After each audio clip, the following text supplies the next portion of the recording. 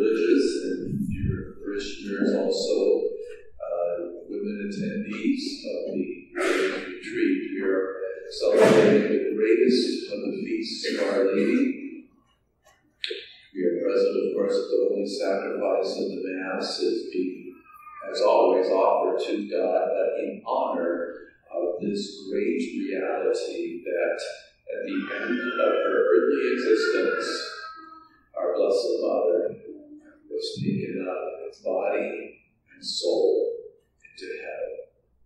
And what a procession, what a magnificent entry into heaven. What a most glorious coronation. This event, I'm sure, was second only to the ascension of our Lord. Of course, being God, he would have the greatest glory paid to him as he ascended into heaven, went to sit at the right hand of the Father in his human nature, and was rewarded for his being obedient unto death, the death of the cross, having fulfilled the Father's will perfectly. Well, Our Lady, on her Assumption Day, having fulfilled the will of God perfectly, went to receive her reward. She drank the chalice of suffering to the utmost dregs, obedient to the will of God, for that she received the greatest reward possible for her. And she is made Queen of Heaven and Earth, and will reign so gloriously. God has continued to reign, reign gloriously and will do so eternally. She at the right hand of her Son. It will never come to an end.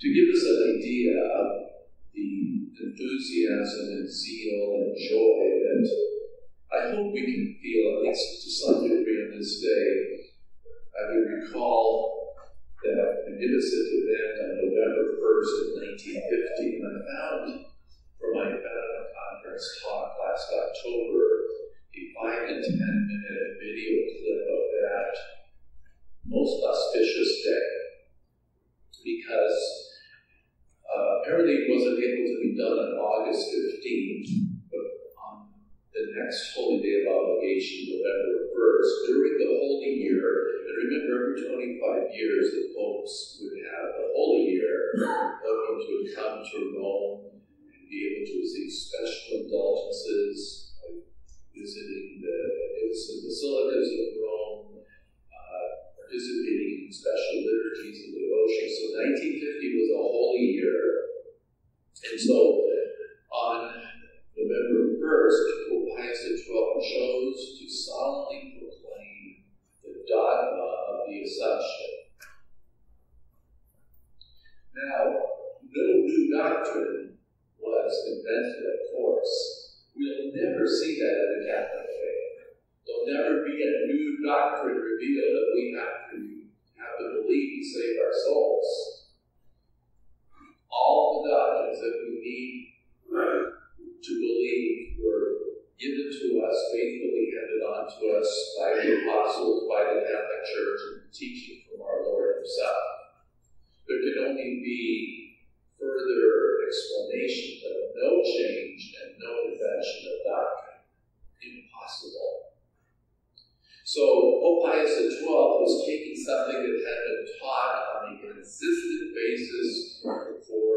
18 centuries plus, and both solemnly declared that. That's the way the Catholic Church operates. Many of her doctrines have not been solemnly taught. They didn't need to be. They were consistently, infallibly taught in an ordinary way. The day-to-day teaching of the Church, which as Vatican Council 1 says, is infallible. I mean, would it make sense the church could guarantee us the truth only if it was solemn teaching, but giving us false, heretical, erroneous teachings on a day-to-day basis? It's impossible It's a square circle. It can't happen. So anyway, on November 1st, and again, it's beautiful to see this short video clip because with 700,000 people present, all jammed into St. Peter's Square, the Pope made a solemn entry. There were bishops and cardinals by thousands.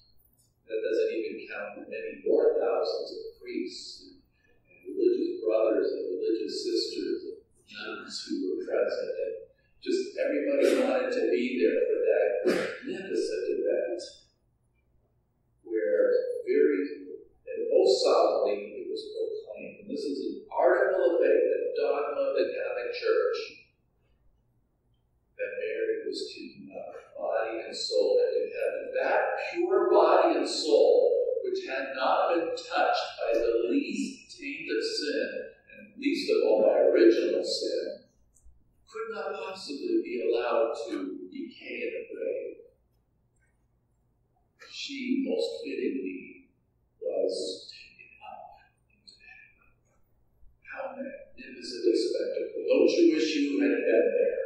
I certainly wish I could have. Of course, I didn't exist yet, so no possibility.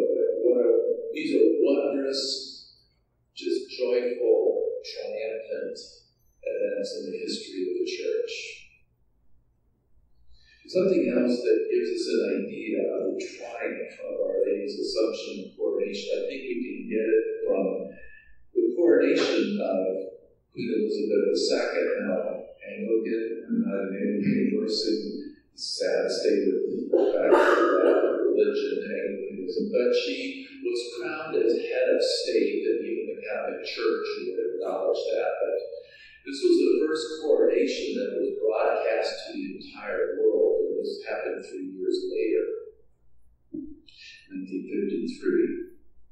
And if you can ever see it, you'll be, you just see the outpouring of happiness, parades, or how do they say it in the rock? Sure. Uh, they just just celebrating with great joy and love the coronation of their been millions who saw her in the streets of London as she went by in her golden carriage. And then millions upon millions of more who saw that broadcast, as they said, on television. This was a thing at the time.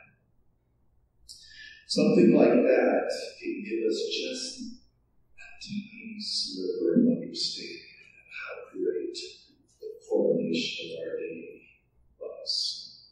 Because it was the angels and saints, uncounted numbers of them. Almighty God placing the crown upon her head. We'll have to heaven, to we get to heaven to see the magnificence of that.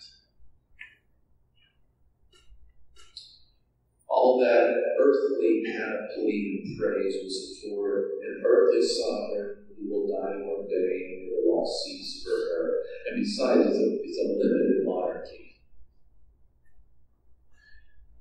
The kingship of Christ, the queenship of Our Lady, last forever after all the kingdoms and earthly powers will have crumbled into the dust, and nothing will be left of them. They are already gloriously reigning. Jesus is King, Mary is our Queen, and they will do so forever. May we persevere in that all important state of grace. Persevere in our efforts so that we too may receive our crown, our reward, and be with them forever. Give something, Our Lady, something, something special today. Just as loyal children and subjects do, we give something, but also ask her for something today. She is most inclined on the day of such great celebration uh, to reward her, her children, her subjects, and we can claim those titles. The angels can only claim the title of subject, but we can claim the a sweeter uh, title of children hers because Jesus has shared her, has shared her with us. To give you an idea of her beneficence, we read, this is from private revelation, of course, an official doctrine of the church, it doesn't have to be believed, that the day that Our Lady went to, uh, went to heaven, all the souls of purgatory were released in celebration of that event. And every year on the Assumption, Our Lady releases through her intercession many souls from purgatory. So that just gives us an idea of the beneficence that she is so willing to, to practice. She does it, of course, all the time, but in a special way, on special, uh, special uh, occasions or events such as today. It's a very real thing this celebration of her assumption. So may you be greatly blessed on this day. Let us keep our eyes on heaven today. The liturgy prays that we can keep our eyes on our heavenly goal, keep them on our heavenly Queen in a special way today. And will always inspire us to keep working towards our heavenly goal. In Father, and the Son, and the Holy Ghost.